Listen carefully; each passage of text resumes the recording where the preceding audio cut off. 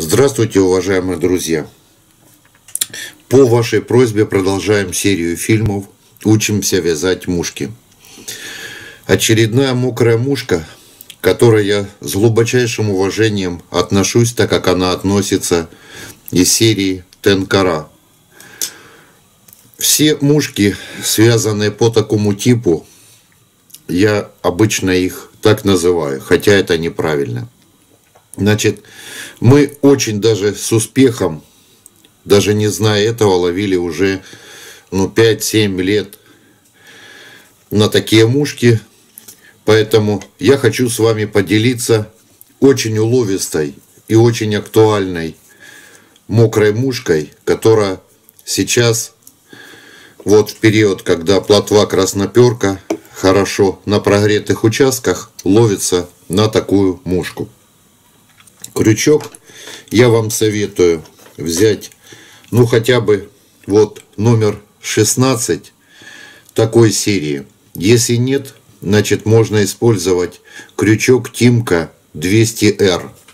Я буду вязать на крючке номер 20, так как я вяжу для очень-очень мелкой рыбы, иногда верховка, поэтому просто, чтобы использовать все результативные поклевки.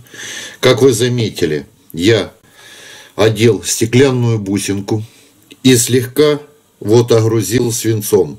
Что самое главное, свинец я буду крепить только лишь в одной определенной точке. Вот подвигаю я, не доходя буквально до шарика, как вы видите, пару миллиметров. Мы оставляем это место для крепления пера и для крепления других наших элементов. Промажем теперь наш свинец сверху, сзади свинцом, сзади свинца, так чтобы наш клей прошел до цевья.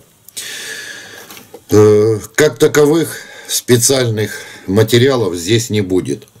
Единственное, конечно, желательно, чтобы у вас была такая нить, которую мы, как обычно, я вам уже показывал, изготавливаем из тесьмы. Вот мы с вами распускали такого морковного оттенка тесьму. Если у вас нет, возьмите нежно-розовую, кремовую или же можно использовать оливковую. Я буду это вязать сразу этой нитью, поэтому мне не нужен, так же, как и вам, бобинодержатель. Закрепили. Оставляем пока нашу нить, удалим остатки, за счет клея наша нить держится. В качестве сегментирования, для того, чтобы придать моей мушке еще больше привлекательность, используем все тот же люрикс, который я вам уже неоднократно показывал. И подхватываю его вот в этой точке, протягиваю, чтобы более качественно закрепился и не было горблей. И теперь уже вот смотрите, мы подготовили, закрепили все буквально материалы, которые нам нужны. Работаем как с ровницей, разравниваем и теперь формируем такое чечевид, чечевидное тело. Движемся вперед-назад, стараемся не нагромождать материалы. И теперь движемся уже более культурно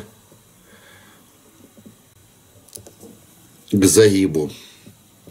Величина тела должна соответствовать ну, приблизительно величине той личинки, которую вы собираетесь имитировать. В основном эта личинка может быть и опарыша, и мотыля, поэтому я больше вот чем у нас получается эти 10-12 миллиметров стараюсь не делать. Значит, вам теперь уже все понятно. Дальше мы изготовим тело, просегментируем и закрепим нашу нить, не доходя до нашего шарика. Получилось у нас вот такое тело. Теперь нам необходимо взять, хотите можете использовать как я уже вам показывал, э, специально ультрафиолетовую эбоксидную смолу. Хотите, вот используйте э, клей, который вот для вейдерсов, это не имеет большого значения. Я обычно, если имеется вот у меня такой лак, как я вам уже показывал, я беру просто слегка, стараюсь сильно, много не наносить лака. Сразу убираем остатки, чтобы не было нагромождения. Вот так. И теперь нам остается дать немножечко нашей уже куколки вот такой своеобразной подсохнуть. А мы подготовим с вами перо или перепелки, или куропатки, или курицы, что у вас будет для того, чтобы выполнить по величине опушку, ну и подготовим перо, как говорится, павлина. Закрепили с вами перышко павлина, и я закрепил перышко э, японской перепелки. Теперь вы неоднократно спрашивали у меня за инструмент. Я уже вам показывал в фильме отдельно. Значит, есть вот такой пружинный, для того, чтобы не порвать перо, которое у нас сейчас очень нежное. И я повторюсь, я уже сделал вот, как вы видите, обыкновенный, но на резинке. Тоже спокойно с амортизатором можно его использовать. Э, как заметно, значит, все э, бородки у нас должны быть направлены в сторону колечка. Воротник вот именно должен стоять вот так. Не к жалу, как обычно мы э, наматываем ёршик, а именно так. И нить должна у нас находиться за пером в том месте, где у нас закончилось уже изготавливаться наше тело. Берем теперь наше перышко и очень-очень осторожно, так как перо, я уже говорил, само по себе нежное. И наматываем. Выберите для себя, допустим, сами, потому что если мы выполним опушку очень большую, значит, мушка будет тяжелая. В каком смысле? В, в толще воды она себя будет вести, значит, выталкивающе. Сама себя будет как поплавочек подталкивать. Поэтому выберите для себя то количество для своей рыбалки, сколько вам необходимо. Вот у меня вышла пара-тройка оборотов, и теперь аккуратненько здесь закрепим наше перо.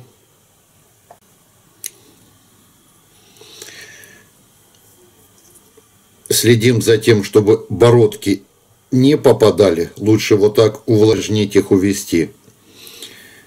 И в этом месте мы с вами подхватим перо. Буквально парочка оборотов вполне будет достаточно под весом катушки, оно все держится. Убираем.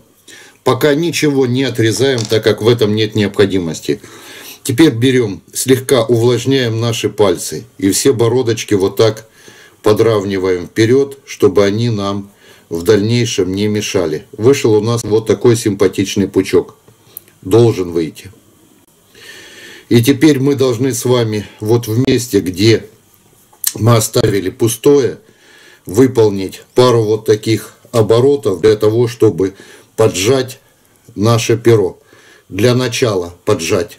В дальнейшем мы сейчас, когда будем выполнять с вами опушечку, уже нашим вот пером павлина, мы аккуратненько наше перо все будет стоять вперед.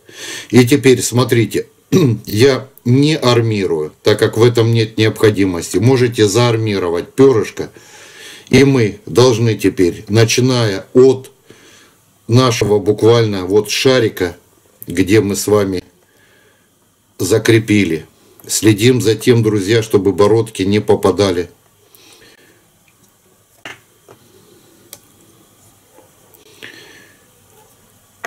Еще раз увлажнили хорошо увели и выполняем теперь наш ёршик. Прямо от шарика. И стараемся уже здесь не имеет значения насколько мы. 2 3 5 8 оборотов. Мы должны с вами изготовить вот такую вот пышную, хорошую грудку позади нашего пера. Выберите для себя сами, допустим, по пропорции нашей мушки, сколько вам, допустим, будет необходимо. И как вы видите, у нас уже очень хорошо находится наша опушка. Возвращаемся теперь там, где мы с вами закрепили. Оставили нить по окончанию. И теперь уже удаляем все наши материалы. Значит, в каком оттенке еще работает? Достаточно хорошо, скажу вам сразу, работает э, в белом, под цвет опарыша, молоко. Но желательно, если вы сможете найти, э, чтобы нитка была, ну прямо чтобы аж светилась, так как вот, допустим, я уже проверяю неоднократно, и беру, включаю ультрафиолетовый фонарик, она у меня вся светится. Такую нитку можно найти, самому распустить.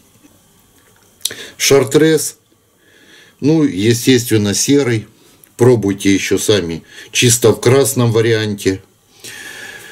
Достаточно уловистая мушка по всякой-всякой-всякой мелкой рыбке. Значит, мы с вами, когда будем, дойдем до сухих мушек, я потом покажу вам вариант такой же мушки, но сухой. Желаю вам удачи. Благодарю вас за внимание. До скорых встреч!